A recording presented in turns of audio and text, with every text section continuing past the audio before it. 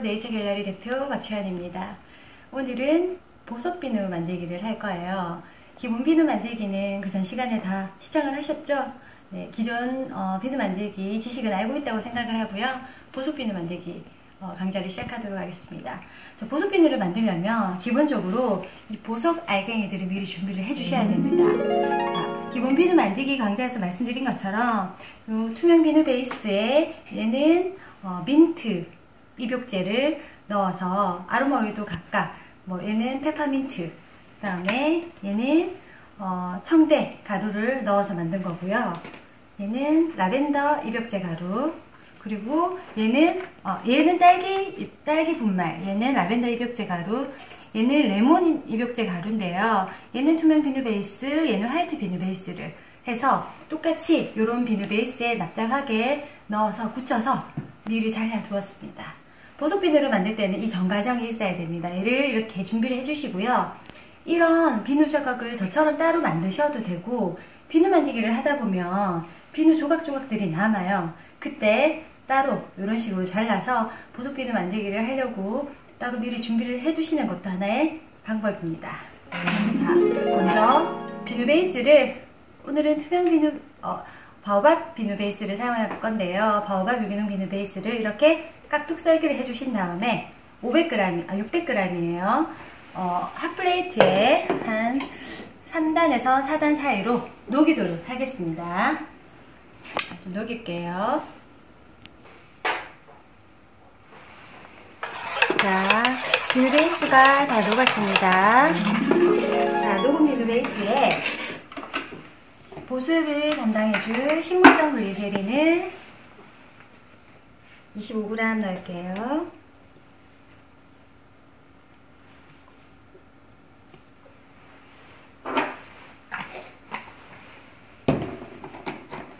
(1kg가) 아니고 (500g이라서) (600g이라서) (500g에) 맞춰서 넣을 거예요 그리고 호박 오일을 (3g만) 넣겠습니다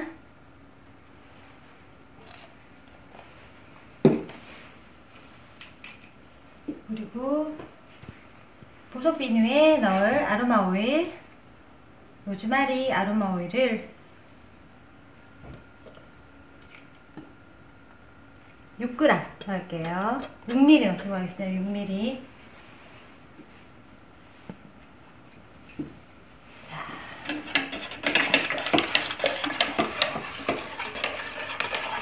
이렇게 저어주신 다음에요. 보습자 아로마 오일이 잘 섞이도록 넣어주신 다음에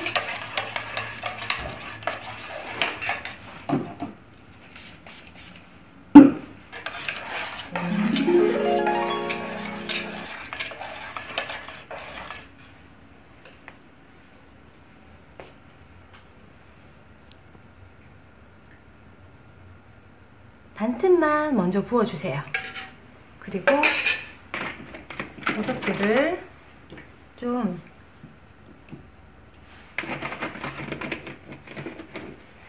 한 색깔로 처음에 먼저 가로로 줄을 세워주는 게 중요해요. 왜냐하면 얘가 자르고 나면 한쪽에 많이 들어가니까요.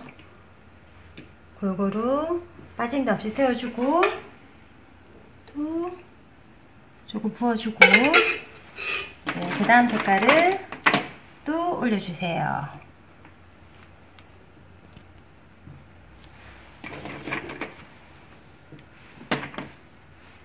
그리고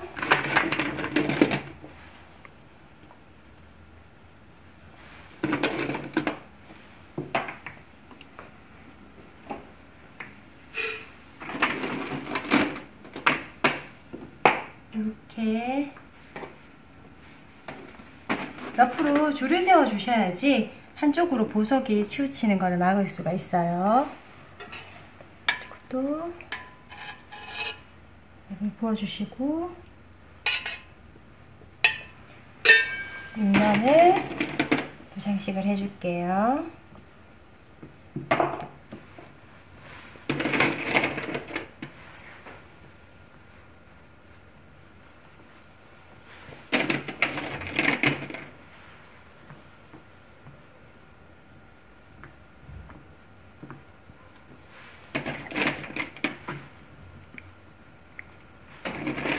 위에는 여러 가지가 골고루 올라가도록 마구마구 올려주세요. 여러 가지 색깔이 믹스되도록.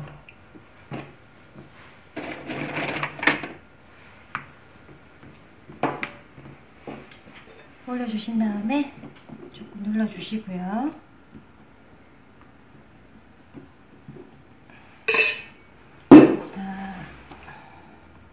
일부러 보석들이 위로 조금 올라오게끔 세팅을 해주는 거예요. 그러면 잘랐을 때 위로 삐쭉삐쭉 올라온 모습이 더 자연스럽고 예쁘거든요.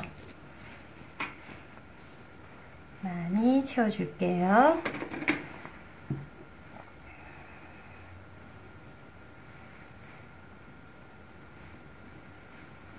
그리고 대산물을 좀 뿌려주시고